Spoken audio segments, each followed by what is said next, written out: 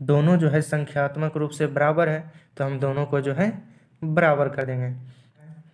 तो यहाँ से हो जाएगा टू गुने पाए गुने आर इक्वल टू पाए गुने आर स्क्वायर मतलब क्या? आर गुने आर हो जाएगा। यहाँ से आप देख सकते हैं कि पाई से पाई कट जाएँगे, आर से आर कट जाएँगे। बराबर के दोनों साइड इक्वल चीज़ सेम चीज़ रहता है मल्टीप्लाई में तो वो कट जाते हैं। तो यहाँ से टू इक्वल टू आर हो जाएगा। है centimetre metre decametre kilometre millimetre तो वो मात्रक आता है। तो त्रिज्या का वैल्यू कितना आ गया? दो मात्रा। ये आपका आंसर हो गया है।